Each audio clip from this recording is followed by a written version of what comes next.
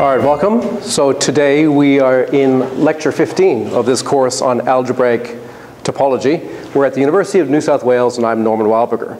Today we're going to talk about rational curvature of a polytope. So this is uh, remarkable uh, stuff, I think, that goes back to Descartes, who almost discovered Euler's formula in the context of curvature of polytopes. And he wrote a letter which was uh, copied by Leibniz. So we know about Descartes' work through this letter to Leibniz. And in it, uh, we're going to talk about the curvature of a polytope. So we're going to take a, a polytope like one of our platonic solids or maybe something more general, and we're going to ask the question, how much curvature is there at a vertex? How much curvature is there at a vertex? And therefore, what is the total curvature of the polytope? Okay. And the uh, overall message, I suppose, that we're going to, to see is that the total curvature of a polytope will equal the Euler number.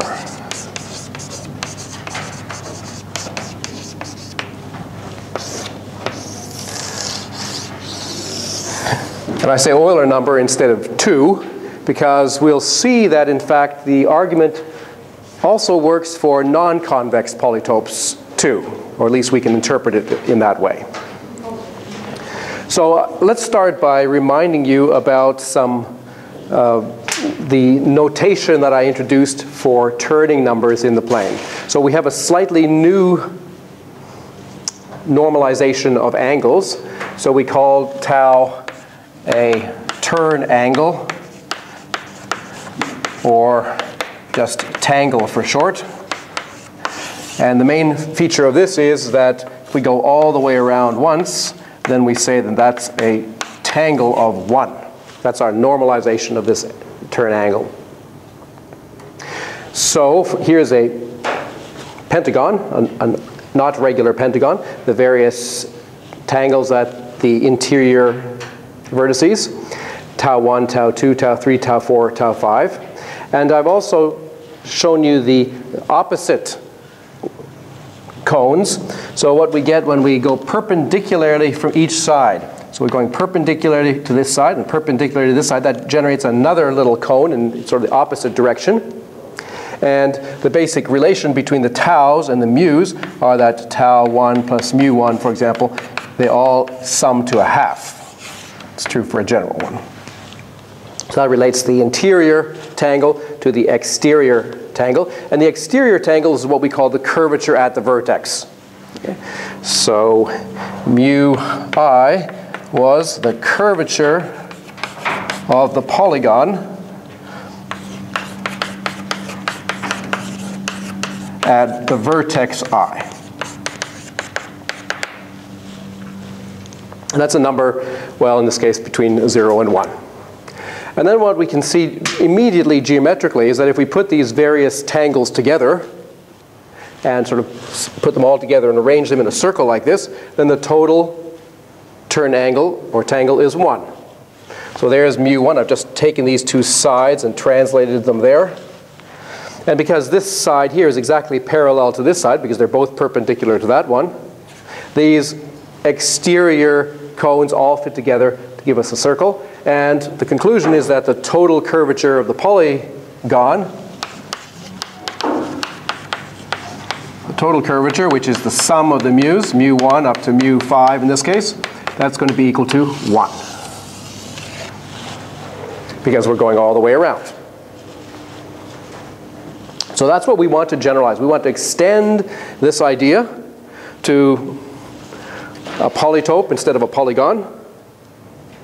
And hopefully at the end of it, instead of finding that the total curvature is 1, we'll find that the total curvature is the Euler number. Okay, so there's uh, definitely more sophistication here because we're going up in dimension and things get a little bit more complicated, but also perhaps more interesting.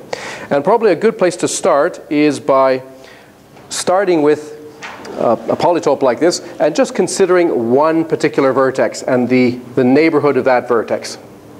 That's a cone. Okay. So let's just start by analyzing a cone in three dimensions. And we'll talk about the simplest kind of cone, which is formed by uh, three vectors. So let's choose, for example, this cone here. There's a vertex. There are three vectors emanating from it. So vector v1, vector v2, vector v3, and maybe I'll try to illustrate the three-dimensional aspect by putting this one a little bit behind. Okay, so it's actually three, it's supposed to be something like, uh, I suppose maybe like that, maybe like that. And uh, we have these three vectors. And the, the thing that they generate is the cone. It's the cone uh, generated by or spanned by V1, V2, V3. It's going to be everything in that infinite compartment of space. Technically, we could say that's the set of things of the form, uh, say, lambda 1 v1 plus lambda 2 v2 plus lambda 3 v3, all those kinds of things where each of the coefficients is positive. That generates the interior of the cone. Okay, so now what we need to do is we need to do something analogous to what we did over here. Here we had a vertex, kind of a two-dimensional cone, and we had the sort of opposite cone that was at right angles. So we have to do the same kind of thing over here, and that involves the idea of a dual cone. So how do we define the dual cone? Well, let me show you what it looks like, first of all, for our example. So there's the three original vectors in red that we had before. And now I've got three other vectors emanating from it. And this is this blue, these blue vectors generate another cone, which is in this case wider and broader than the original one, which is a bit more narrow. And it's characterized by the following things. That this vector here is perpendicular to this face. And similarly, this vector here is perpendicular to this face and this vector is perpendicular to the third face. So a cone has three faces, has three edges, and also three faces, and we're choosing vectors which are perpendicular to those three faces. So the dual cone is spanned by the dual basis. And that's a lot like it is in two dimensions. So if we have v1, v2, and v3, we can say that the dual basis is, say, vectors w1, w2, w3, with the properties that w1 is perpendicular to w2 and to w, um, perpendicular to v2 and to v3, and its dot product with V1 is 1.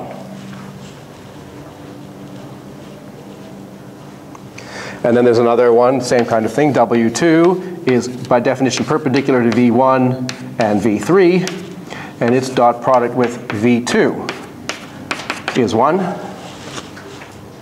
And similarly, W3 defined perpendicular to V1 and V2 characterized by W3.V3 equals 1.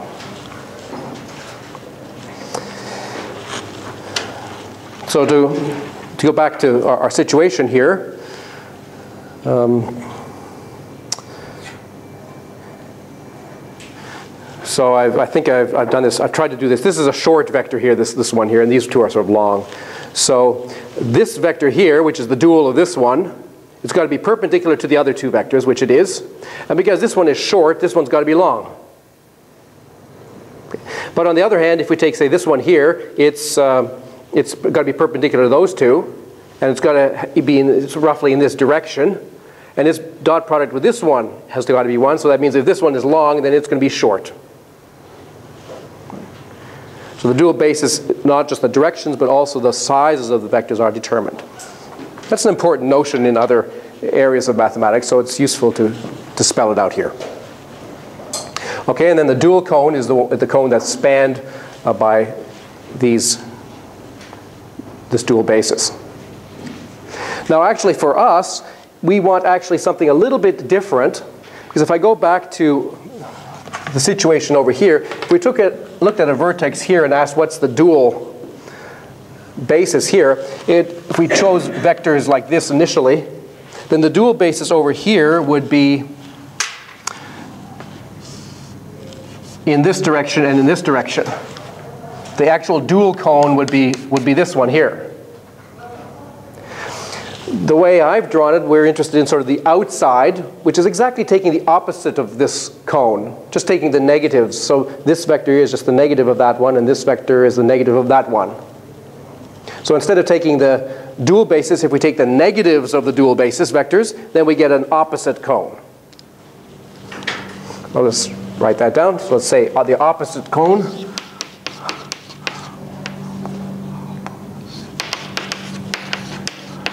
The opposite cone is spanned by the negatives of the dual basis vectors. So minus W1, minus W2, minus W3.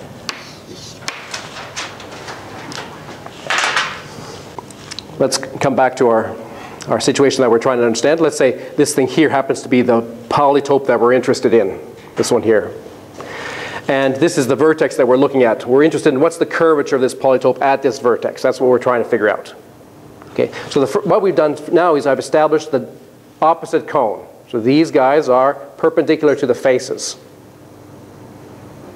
Okay, that's completely analogous to these yellow wedges that I did here. Now what did we do over in this situation is, well, we measured the size of those yellow wedges by comparing them to the size of the full circle. That's exactly what we're going to do here. We're going to compare the size of this opposite wedge coming out to the full sphere.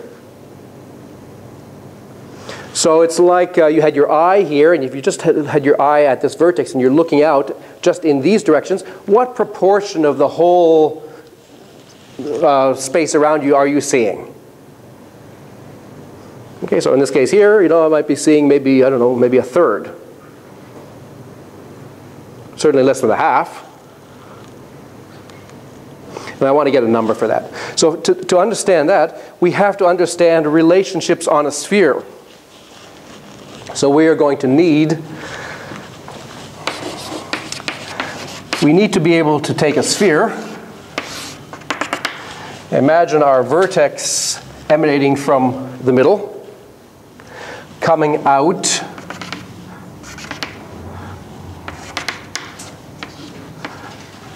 and let's say we if we look at that vertex how where it intersects the sphere it will intersect it in some kind of spherical triangle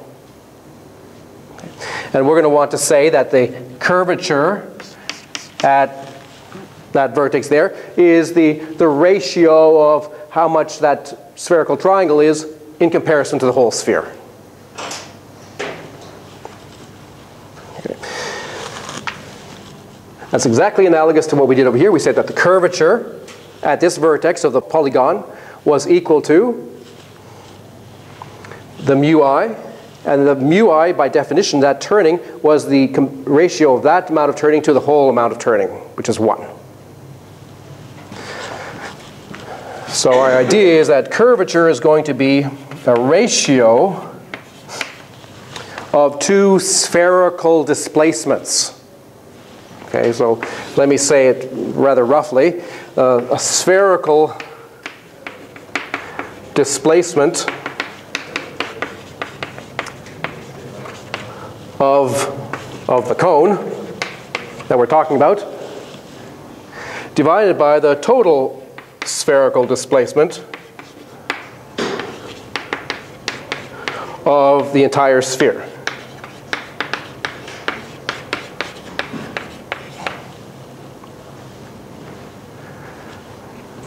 Now this is a different approach to what you see in textbooks generally. In textbooks, there's also discussion of spherical area, but the ratios are in terms of ratio of surface area to radius. Okay? For the same reasons that I didn't want to do that in the planar case, I'm not going to want to do it here either. I do not want to compare this area to the radius. I want to compare rather this area, or it's really the displacement, to the total displacement on the sphere. That will be a more flexible notion that will work better for understanding three-dimensional, the three-dimensional sphere or geometry in a three-dimensional spherical space or a three-dimensional hyperbolic space where the dependence between the area and the radius is not linear, or I guess it's quadratic in this case, but more complicated. This is a more flexible, more natural approach. Another big difference is that we're sticking with a rational business, so we're interested in getting rational numbers out of this. We want numbers like one third or one fifth. All right, so let's talk about uh, parts of a sphere. And for that, we're going to have to go back to another 17th century uh, mathematician and a famous formula of Harriot.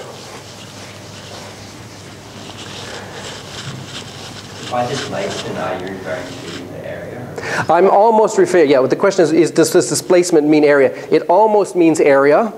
I just want to be a little bit flexible in that conceivably I might allow my, my surface to be swept out twice. Remember when we were talking about turning, we, we allowed ourselves to turn two and a half times. I'm going to, in the back of my mind at least, allow ourselves the idea of turning around the sphere twice, or three times, or three and a half times. It's not so clear what that exactly means, but that's roughly what I, why, I want, why I want to say spherical displacement instead of spherical area. And I also want it to be possibly negative. If we're going in the opposite direction, I want it to be negative what it was previously.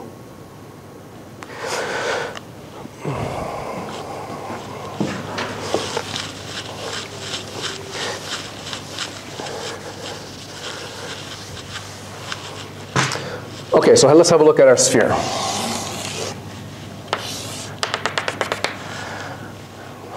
How can we get a theory of sort of areas or displacements on the sphere? Well, I guess the simplest thing to do would be to consider a single rotation. Let's take a north pole and a south pole, and we'll consider a great circle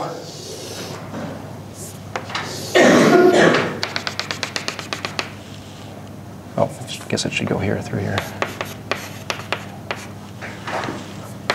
One great circle through the North Pole, then another great circle. Let's make it like this.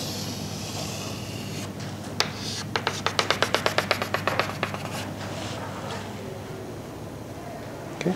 And let's suppose that we just concentrate on the region around here, and suppose that this is a turn of tau. And tau is a usual turning number somewhere between 0 and 1. So let's say we're just interested in this wedge-like shape. It's a little bit like a, a boat. What area or what displacement should it have? Well, it should be, if this is, say, one-third, then it, it's one-third of the, of the whole sphere. And now the question is, how should we normalize the whole sphere? Because we don't want always to talk about ratios, we want to talk about numbers. Okay. So we need to normalize the total spherical displacement of the sphere. And we have to make a, a convention. Okay. We need to define, define the total area or displacement of the sphere to be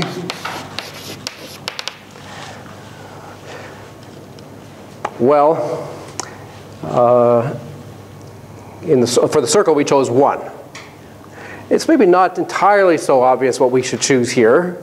After all, we're, we're up one dimension. So instead of a one-dimensional surface, we're on, in on a two-dimensional surface. Okay, that's maybe not such a good justification, but that's the number we're going to use. we're going to use 2 for the total area or the total displacement of the sphere.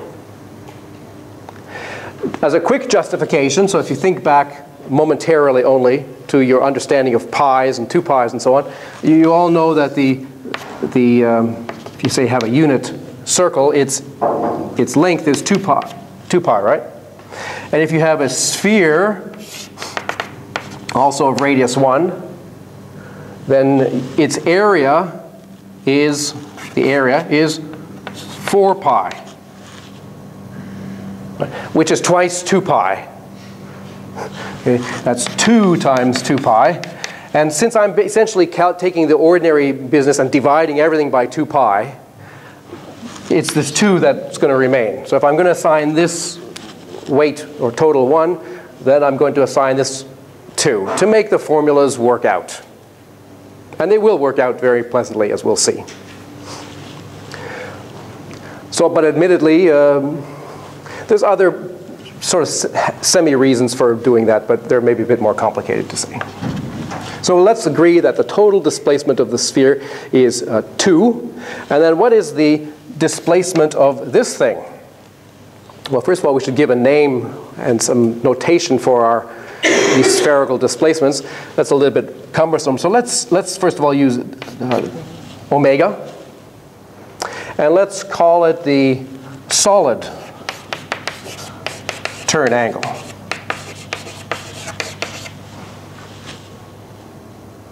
As opposed to solid angle, which is the usual terminology. So solid turn angle, or if we want to get uh, shorter, we could just say solid tangle. Or I suppose if we got to really want to get really short, we could say stangle.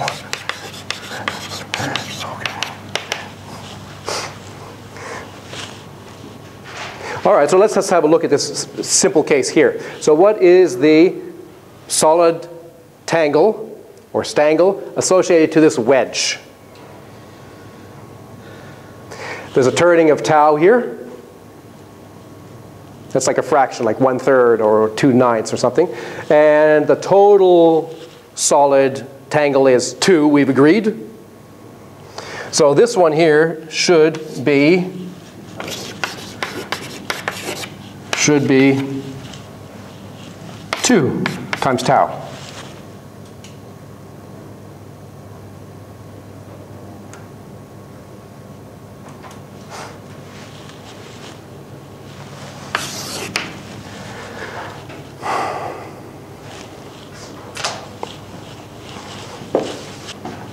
All right, now let's be a little bit more ambitious and look at a spherical triangle. And now we're going to go back to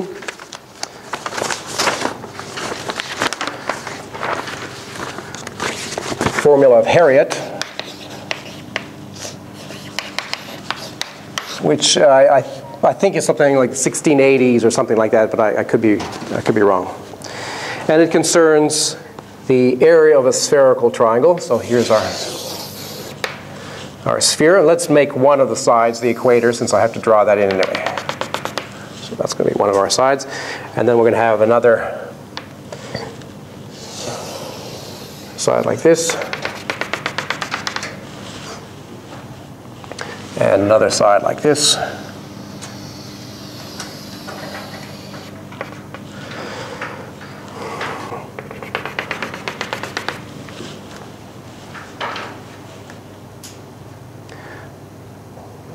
Okay, so there's a spherical triangle made out of three great circles. And I remind you, a great circle is what you get when you cut the sphere by a plane through the center of the sphere. So they're the biggest circles on the sphere. So we have three of those. And, well, we're going to have a have a turn angle at each of the corners. And let me call those turn angles, let's say, uh, mu1 and mu2 and mu3.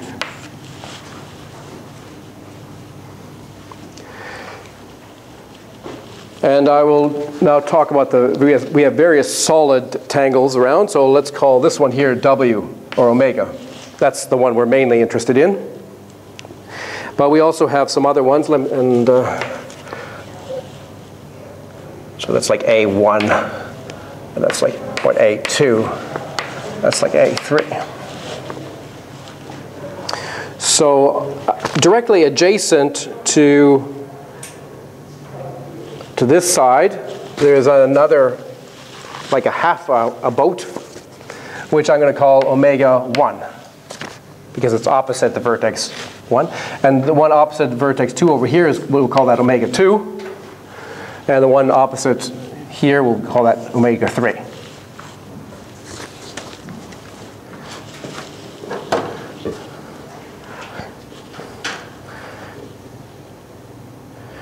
Okay, so this is a rather convoluted um, picture here. Maybe, maybe I'll use this one here. So I don't know if you can see it, but here is, a, here's roughly a, a spherical triangle. Okay, and what I mean by these other pieces is, let's say you look at just these two sides right there. They form a, a wedge like this, and that wedge is cut into, into two pieces by that other side of the triangle. So the other side of that wedge we're going to call W1, or omega 1. And there's, there's one on this side, and there's one on, on, on this side, and there's one on, on this side. Now altogether, if we make three cuts, we divide the sphere into two each time. So they're altogether eight pieces. And we've only accounted for four of them so far. But the other four pieces are exactly the same as those four, but on the other, on the back side. Uh, because of the antipodal, the antipodal property, there's going to be a sphere here, uh, uh, triangle here on the other side, which you can roughly see is the intersection of, the, of the dotted lines uh, there in, behind.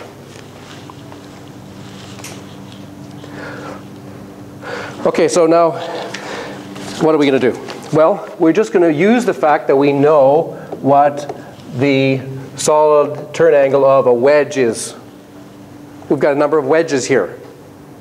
The first wedge is the one formed by our triangle, and the W1. Okay, that's a wedge whose turn angle right there is mu1. So we know that omega plus omega 1 equals the area or, or the solid angle of that wedge, which we've agreed is going to be two times this tangle, two times mu1.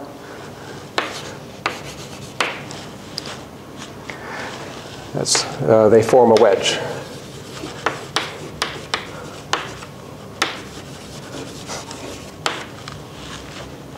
And similarly, omega plus omega 2 will be 2 mu 2.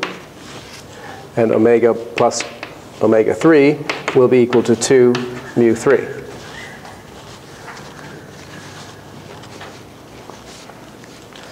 And there's three equations in uh, four unknowns. We need one more equation. The other piece of information that we have is that if we add up mu omega plus omega 1 plus omega 2 plus omega 3, then we're covering half the sphere. Because those four pieces cover half the sphere. And if the whole sphere has solid tangle 2, then half the sphere has solid tangle 1. So we get 1.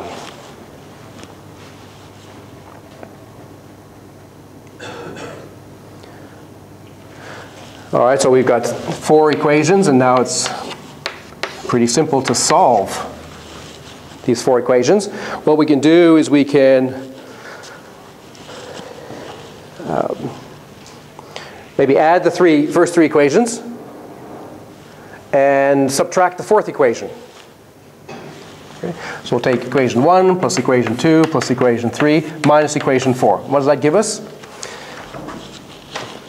Well, there'll be 3 omegas minus omega, so that'll be 2 omega. Omega 1 plus omega 2 plus omega 3, but then we're subtracting exactly the same thing. So those all disappear. And on the right-hand side, we get 2 mu 1 plus mu 2 plus mu 3 uh, minus 1.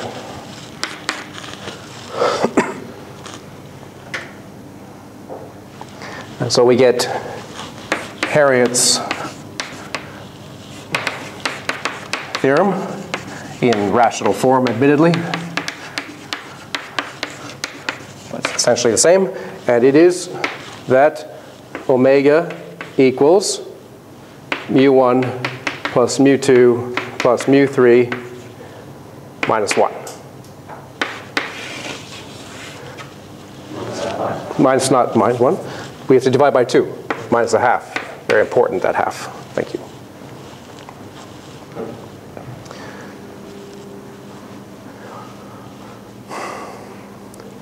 So let's just check to see if this is reasonable. So suppose we look at the most symmetrical decomposition where we divide the sphere in, into eight equal pieces by the three coordinate planes. Then each of these will be 90 degrees, which is a turn of a quarter. So we have a turn of a quarter at each one of those pieces there. And so that, that triangle there will have omega equals, well, there'll be 3 times 1 quarter minus a half, which is 3 quarters minus a half, that's 1 quarter. And that is indeed 1 eighth of the total. So that does make sense. 1 eighth of the whole sphere, which is 2.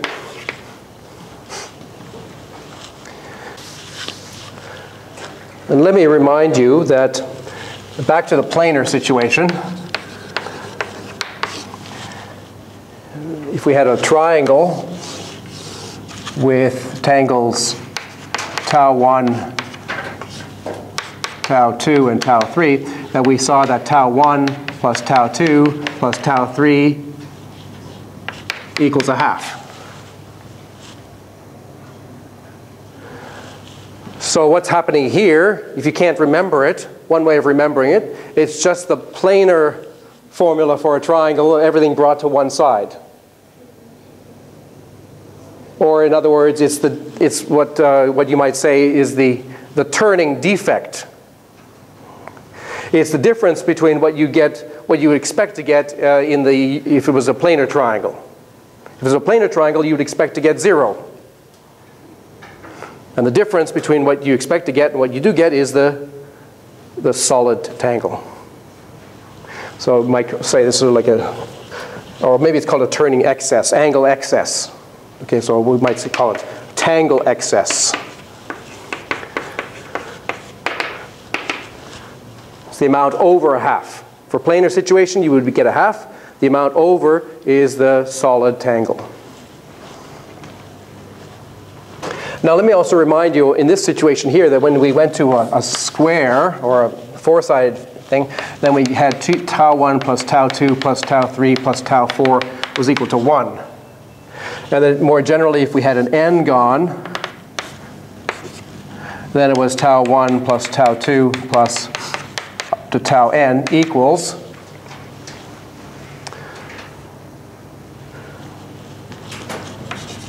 n over 2 minus 1.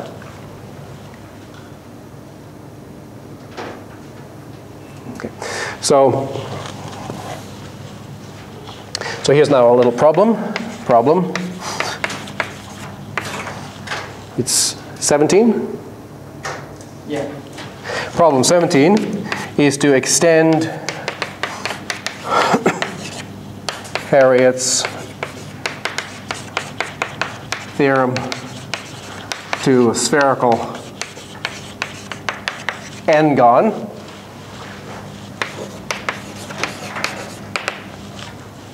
So I'm talking about, we're, we're on the surface of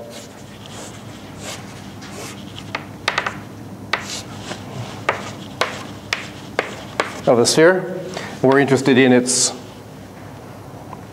total solid tangle, and we have individual tangles mu1, mu2, up to mu n. So we want to know what is the, the um, so omega, which is the solid tangle of the n of the spherical n-gon.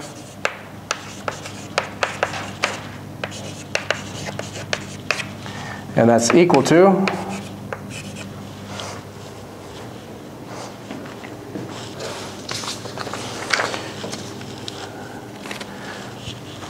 uh, mu 1 plus all the way up to mu n minus n over 2 plus 1.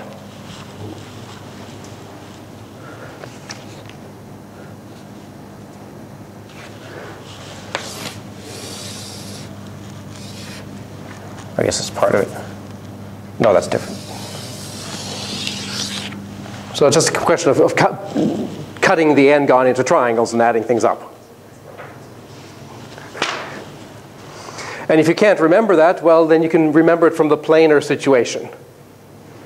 Because it's just the excess over the angle or turn angle sum for the planar situation. What is Harriot's theorem in, um, uh, how would I describe it, non-rational form? I- uh, there's just some two pi's floating around. So the only difference between this version and the usual version is the usual version has everything multiplied by 2 pi. So I've, I've made the scaling so that everything is just multiplied by 2 pi and you get the classical formulas. Or you take the classical formula, divide by 2 pi, you're going to get the rational form.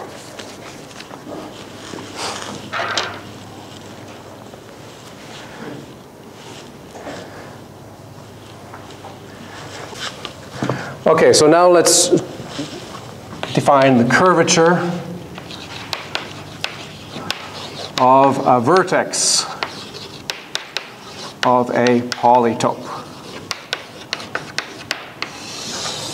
And maybe I should say rational.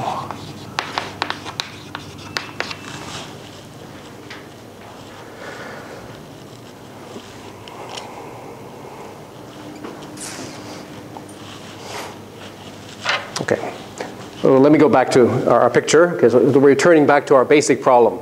To define the curvature of this red polytope, which part of which we're seeing here, that's the vertex. There's the dual thing. Let's take the opposite one, which is easier to see. Okay. So we're interested in how curved this polytope is at this vertex. How sharp is it? Okay, and what we're going to do is we're going to define it to be solid turn angle of the opposite cone. So the bigger this opposite cone is, the more curved this is. The smaller this cone is, the smaller the solid tangle of this is, the, the smaller the curvature is here. So we define this to be the solid tangle of the opposite uh, cone. Let me try to draw a picture of that. Okay, so here's our our polygon P. There's our vertex A. And I'm now drawing the opposite cone. So I have to do that for each face. Here I'm going to draw a line that's perpendicular to the face. For this face here, I'm going to draw a line that's perpendicular to the face. And for the face that's behind here, there's another one sort of going off in that direction. So let me try to draw this by doing it this way.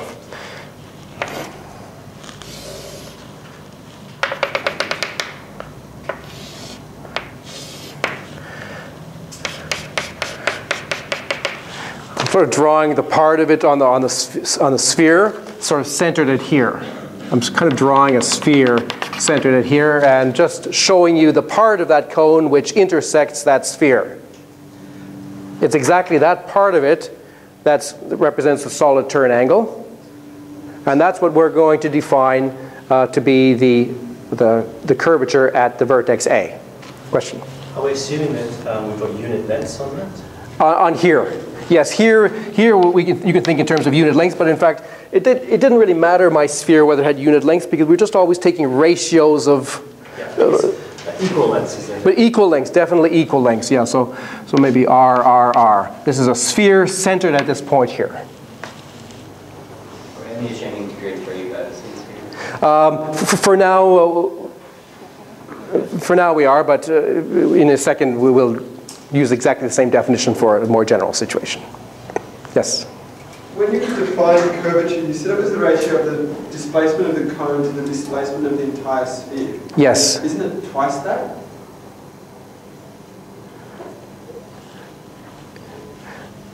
You're calling the displacement of the entire sphere two? Yeah, okay, I suppose that's, that's true.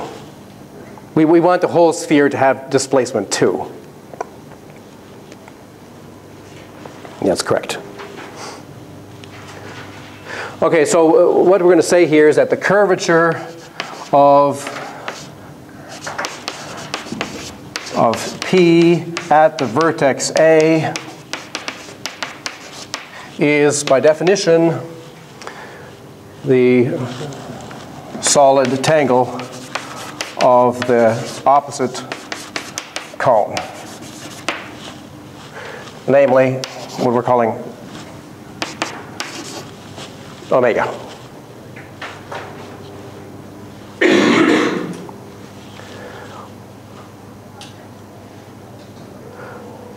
Okay, now, what is, how do we calculate that? Well, to calculate that, we have to use Harriot's theorem. And what does Harriot's theorem require? Well, it requires that on the surface of the sphere, which is this, like this spherical triangle here, that we know the tangles at each of the three vertices. Because Harriot's theorem, which I may have rubbed off, no, here it is, uh, I've rubbed it off now, but remember it was the sum of those three tangles minus a half in the case of a triangle. So let's be consistent and let's say that this, uh, the, these three tangles here are, um, okay, maybe mu1, mu2, and mu3. So for a triangular face or triangular cone, what we are talking about is the uh, mu is equal to mu1 plus mu2 plus mu3 minus a half. That was Harriot's formula.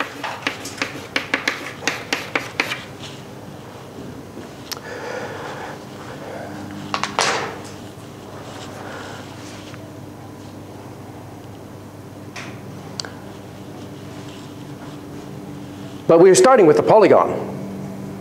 That's the actual real data that we have. We start with the polygon. So how do we get these mu's, mu1, mu2, mu3, from the polygon, well, or from the information near this vertex? So for that, let's have another look at, uh, at our, our situation here, okay? So there's our polygon P.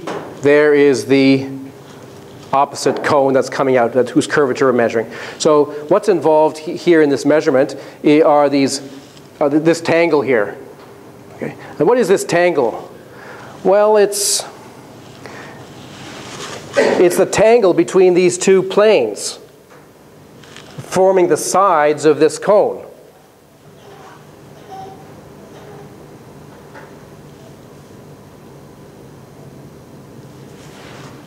And the sides of the cone are perpendicular to the edges of the original polytope. So this face of the opposite cone was perpendicular to this edge of the original polytope, while this face here was perpendicular to this one. So we have a situation where I claim that if the original polygon had uh, face tangles tau 1, um, I'm not sure if I'm putting the right spot. yeah, maybe tau 1, tau 2, and sort of behind here, tau 3. So I claim that in terms of the face tangles of the polygon P at A, which maybe are tau 1, tau 2, and tau 3, we have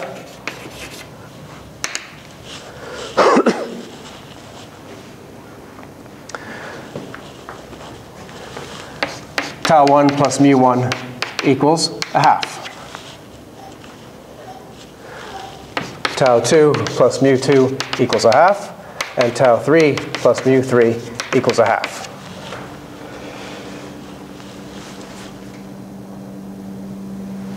Okay, so why is that? Let me try to draw a picture.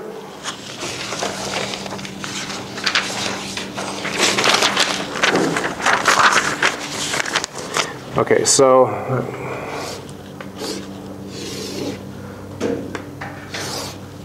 is a three-dimensional picture here, supposedly.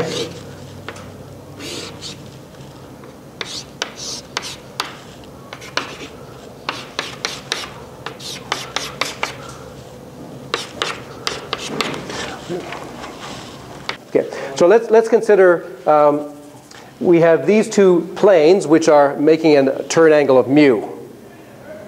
And at this point here where they intersect, these two planes have perpendicular, nor, have normals. Okay. So let's uh, make the normals in this direction. So that's one normal there, and that's another normal to that, the other plane. Okay, now, I'm, now I think I've got it. So it's the relationship between the tangle tau between those two normals that we're interested in, and the tangle between the two faces mu.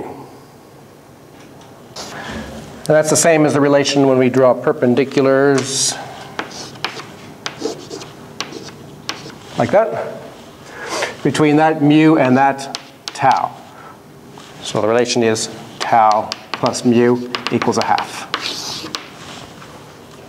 So essentially, we can look at it at a certain angle where that becomes clear. Yeah, if you look at it sort of down, then it just becomes a, a planar situation, sort of down on the intersection of the two planes. So that's the relationship between the face tangles of the original or polytope at A and the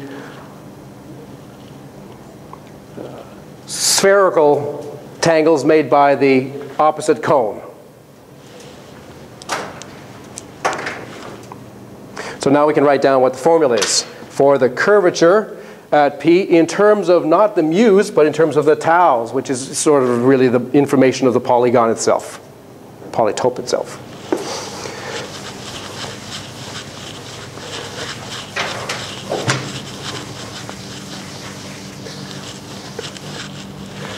So the curvature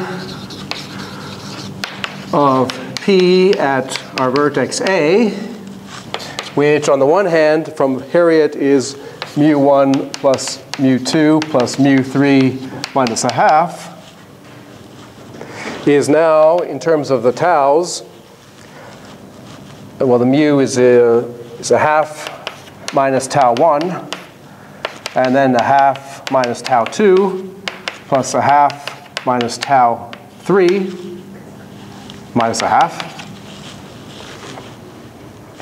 And that's equal to 1 minus tau 1 plus tau 2 plus tau 3.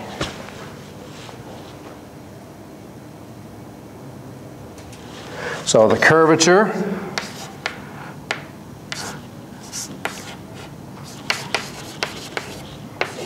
at A equals 1 minus tau 1 plus tau 2 plus tau 3.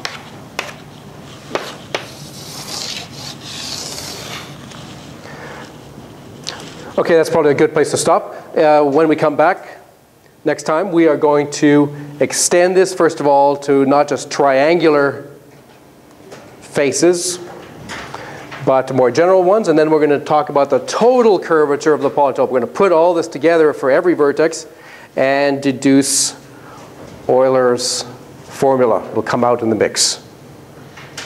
So I'll see you then.